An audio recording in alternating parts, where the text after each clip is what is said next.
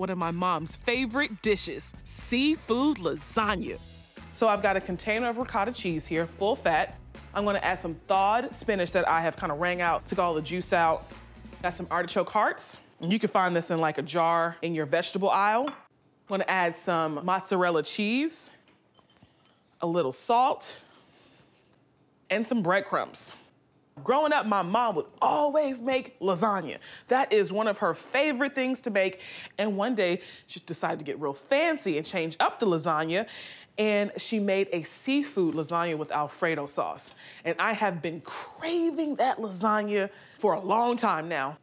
All right, so I'm mixing my ricotta with my mozzarella cheese. Now I'm gonna add one egg. And now I'm going to zest this lemon.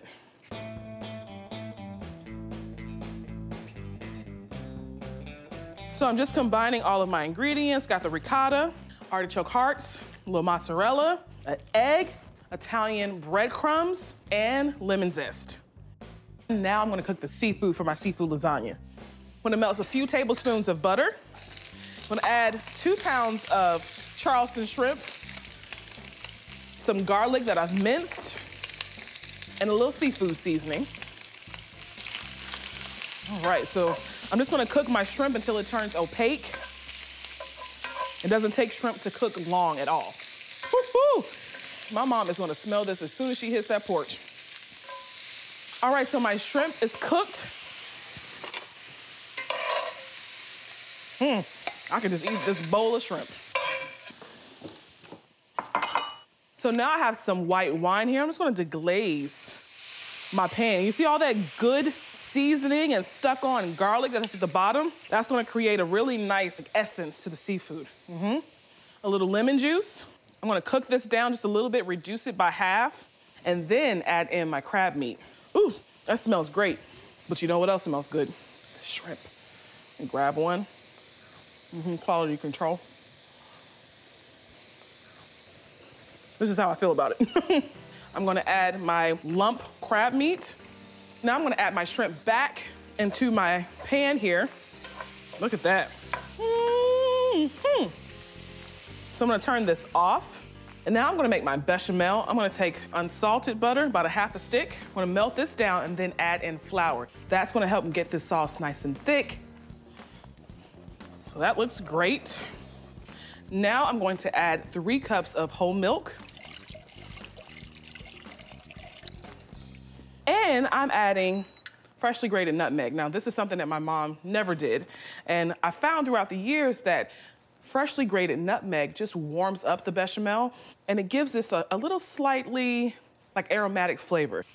A little goes a long way with freshly grated nutmeg. One and a half cups of Romano cheese. Romano is, has that kind of like that nuttiness and saltiness that you get in Parmesan cheese, just a little bit more. And this bechamel is just one of the twists on my mom's seafood lasagna. All right, so my bechamel has thickened. All right, Mom, I'm gonna add a little bit of my bechamel sauce into that ricotta. Did I do that right? Mm, I didn't used to do it that way, but... I just put a little bit of the bechamel in there because it's gonna help loosen up the ricotta and make it a little bit more spreadable. That's it. Okay, I can That's agree it. with that. The next thing I remember is you put a little sauce down at the bottom. Always, and so it won't stick. So a little bit down at the bottom. They have a new thing, Mom. It's, what is the new thing, Kardea? it's ready to bake. You don't have to boil it. So these pasta sheets get nice and soft, like as if you would boil it, just in the oven with heat. You know what? Even in the stores today, I still go for the ball. Can you teach an old dog new tricks? Roof, roof, I guess so. Put sauce down, spread it all over this, the, the noodles. Mm-hmm. Let's put the ricotta down next. Looks good so far. Can you do the honors of by adding the seafood mixture? Sure I can. Don't look over me like your grandma do. You know, that makes you nervous, you know, when we're in the kitchen and you know when your grandma does that. Oh my that. gosh, you can't it. stand that. That's that's not what I do. Uh-huh. well, now I'm gonna get in here like grandma and help you out because Oh, because see? you're not spreading enough for me. Isn't that something you're You gotta me? have my equal- recipe, isn't that something? You gotta have equal distribution. I didn't know how you did. I just know it tasted good. Break it in half. Sauce, the ricotta and spinach and artichoke mixture. I'm repeating those same layers now.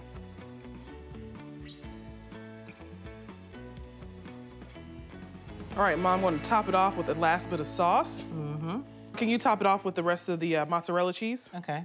Nice and even. Are you telling me? Okay. Isn't that something? Mm. I'm gonna cover my lasagna and bake it at 350 for about 30 minutes, and then bake it uncovered for an additional 15 minutes, and that's gonna get it nice and browned, and mm-hmm. you're gonna see all those bubbles on the corners. Oh, I can't wait to see how this comes out.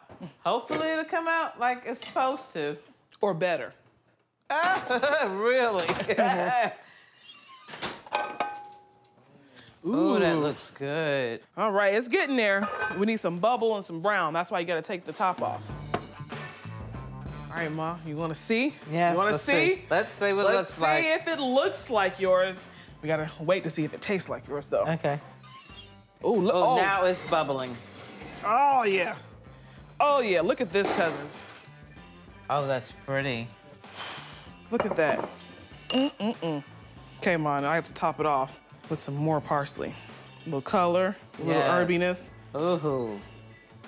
Mm-hmm. All right, Ma, let's dig in. Ooh, yes. Oh, that looks so good, It's Kardea. cheesy. There it is. There it is. Ooh, that looks good.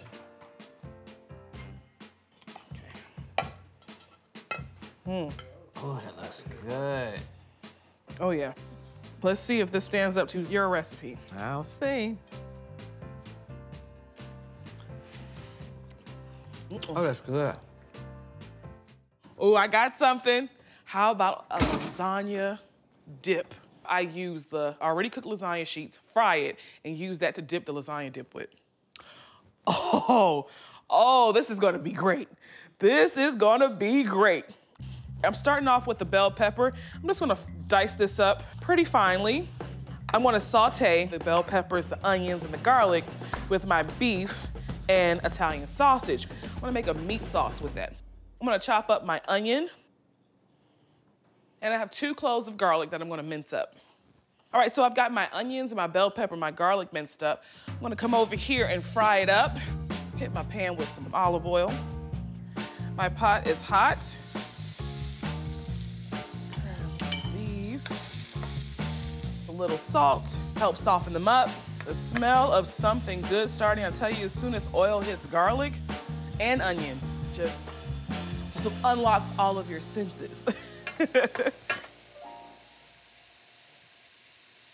So this is mild Italian sausage that I have here and 80-20 ground beef. And what I like to do is break down my meat so it will no longer kind of be in that sausage link form. It smells incredible in here. And my favorite part of lasagna is this stuff, the meat, the cheese, and the ricotta. I mean, I like the pasta, but if I could just eat the meat and the cheese, that's what I want to do. So my meat has browned. Now it's time to build this sauce. I have some leftover pasta sauce here. This is about six ounces of tomato paste. All right, I'm just gonna add just a little bit of water. Gonna eyeball it. Of course, we gotta season it. Some salt, pepper, a teaspoon of sugar. Sugar helps cut the acidity. And so, I mean, my mom always added sugar in her pasta sauces. So I've been doing it ever since. A little bit of sugar goes a long way in tomato sauce. So I'm gonna let this cook down for about five to 10 minutes. While that's cooking down, I'm gonna make my bechamel sauce. I got two tablespoons of unsalted butter. I'm gonna add two tablespoons of flour. I'm gonna add in about a cup of whole milk. And with the bechamel sauce, you definitely wanna keep whisking because you don't want it to burn at the bottom. This is starting to thicken up. I got some leftover Parmesan cheese, so I'm just gonna put that in there. And I'm gonna season this sauce. About a half a tablespoon of garlic powder, a little bit of Italian seasoning. You don't need it too much because dried herbs go a long way. Let me hit it up with a pinch of salt and some cracked black pepper. All right, so I'm gonna turn that heat off, grab my skillet, and assemble this dip.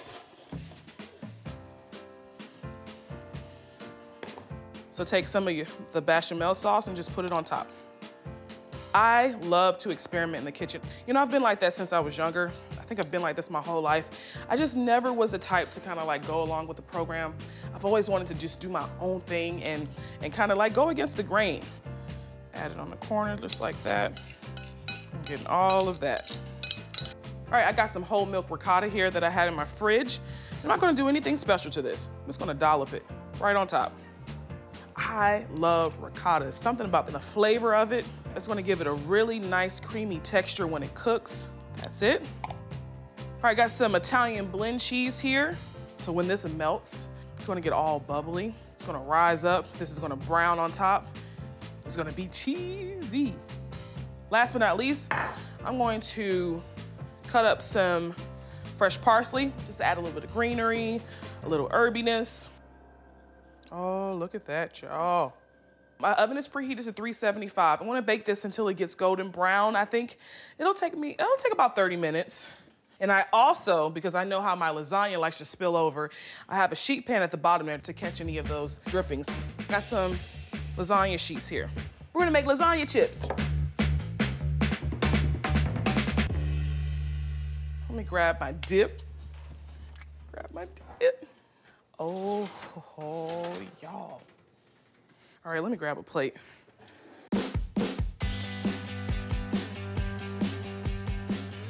Gotta, I mean, I have to sit down and really enjoy the creation I just made. I mean,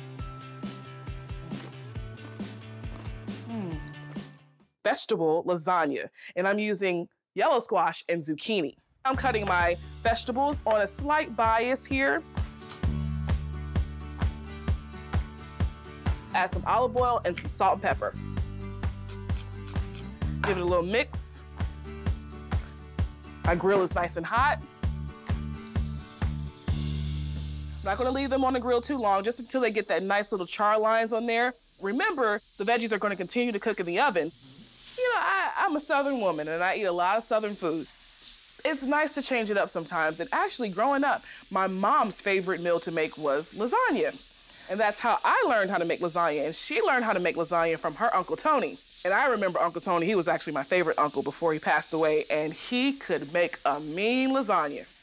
While these grill, I'm gonna get started on my sauce. Olive oil, fresh garlic, tomato paste, I'm using crushed tomatoes, paste, and tomato sauce. I like a really chunky sauce. And because I'm not using meat and I'm using vegetables, I need something with little substance. Tomato sauce. Crushed tomatoes. And that gives you that really nice fresh tomatoey flavor. And it's gonna give this sauce a really great texture. Looks like my veggies need to be flipped. You see, that's all I wanted to do was get those nice grilled lines. You always think lasagna is very heavy. Vegetable lasagna is very light, very flavorful. And adding these grill marks, you're gonna get some of that grill flavor. Let the other side grill. Continue with my sauce. Red wine, third cup. It makes it really, really robust. And don't worry about it, the alcohol will cook out and all of the flavors will remain. Tablespoon of Italian seasoning, a half a teaspoon of ground fennel. It just gives it this nice little like licorice flavor that I really like. Oh, those are beautiful.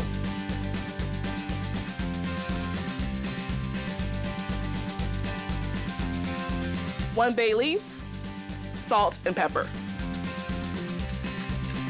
And because tomato sauce is very acidic, I like to add sugar. I say about two teaspoons. Some fresh parsley, give it a chop, add it to the pot, in 20 minutes, this is gonna be very, very delicious. But if you have the time, if you wanna cook it earlier in the day, you can. It's gonna be even more delicious, but it's fine in 20 minutes. All right, put that on. Let me get started on my ricotta. So I like to use about a pound of ricotta. Mm-hmm. I'm transporting myself to Italy. And oh, I can't wait till I add the mozzarella.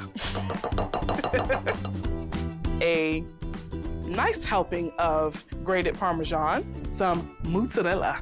I like using fresh mozzarella because it has a little less moisture and once it melts, it's gonna have a really nice stretch. I need to add some salt, about a half a cup of milk.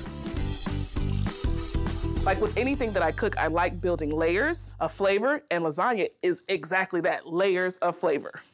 The thing about ricotta cheese is that it can really stretch and get really liquidy if you don't add an egg. Smell the char on the veggies, I smell that sauce going back there. I'm really excited about this lasagna. My ricotta mixture is done. Let me get my sauce and start building this lasagna. I've got my 9 by 13 casserole dish, and I'm using oven ready lasagna. When I first started making lasagnas, you have to boil it and deal with that flimsy little pasta and everything's slipping and everything's going all over the place. You don't have to worry about that because these lasagna sheets are dry. The first thing I like to do is add a little sauce in the casserole dish because it helps prevent the pasta from sticking. Mix it around here. Now I'm gonna add my oven ready lasagna sheets. Fit it to however you like. It's like kind of like a, a puzzle. There you go. Another layer of sauce. Adding my veggies. Now this lovely ricotta mixture. Whew. So that looks good. I'm just gonna keep doing the same thing until I get to the very top or until I run out of noodles. I like to make a little design on the top because it's, you know, you see the top layer. So try to make it cute. That same fresh mozzarella I used in the ricotta mixture, it's gonna get nice and golden and melty. Parmesan cheese. Fresh basil. I like the flavor of sweet basil, especially with a good pasta sauce. With lasagna, it's always best to start off with it covered so the noodles and the sauce and everything melts and gets nice and cooked. Then I uncover it and let it bake for an additional 15 minutes so all the cheese will melt on top and it's gonna get nice and golden brown. It's time to uncover my lasagna. Mmm. Yes. Whew. That smells delicious. Oh, baby. I immediately smell the sauce. I'm smelling the basil. I smell the fresh veggies. That needs about 15 more minutes. I just want the top to get nice, brown, and bubbly. My lasagna is done. Oh, look at that. This is gorgeous. It's nice and brown on top. The cheese has nicely melted. Oh, wow. Did y'all bring your appetite? Of course we did. Yeah. The oldest boy will get his first corner. Okay, this is a big Oh, piece. yeah. He's a fireman, you know, he Yeah. deserves this. He's been saving lives. Yeah. Oh, oh amazing. That's nice. Look at all those layers. That looks really good. The lasagna is amazing.